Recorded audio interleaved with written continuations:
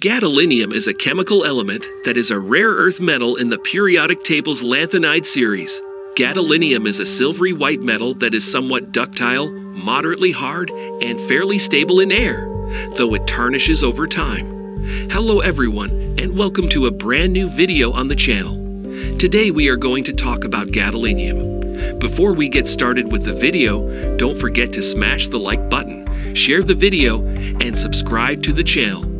Now let's get started. Except for hydrofluoric acid, HF, gadolinium reacts slowly with water and quickly with diluted acids.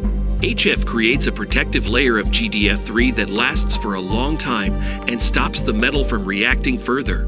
Gadolinium is the only lanthanide that is ferromagnetic at room temperature.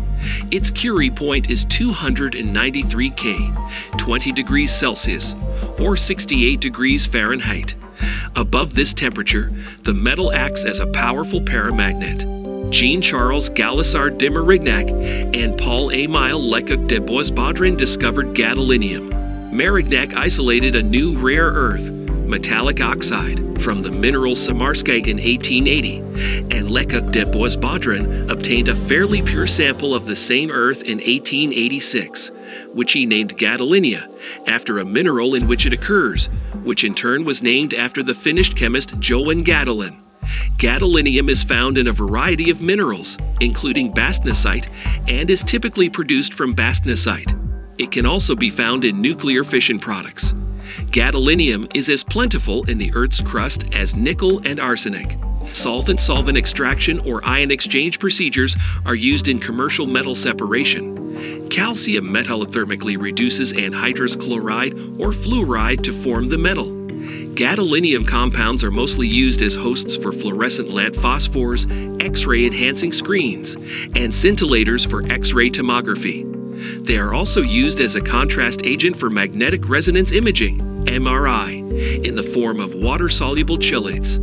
Other applications include nuclear reactor shields and control rods, owing to its extremely high nuclear absorption cross-section, and as a component of yttrium gadolinium garnet, which is used in communications.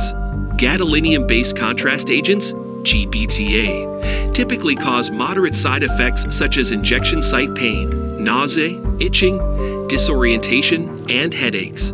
Gadolinium toxicity and nephrogenic systemic fibrosis are rare major side effects that can occur in persons with severe kidney issues.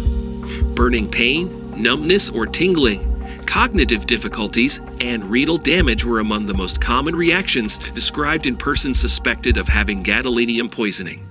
The U.S. Food and Drug Administration, FDA, has issued additional warnings that gadolinium can remain in the body for months or years following an MRI scan. Gadolinium retention occurs when gadolinium accumulates in bone, brain, and kidney tissues. That's the end of the video. I hope you liked it. If you did, let me know by giving it a thumbs up, and do not forget to subscribe. Thanks for watching. See you next time.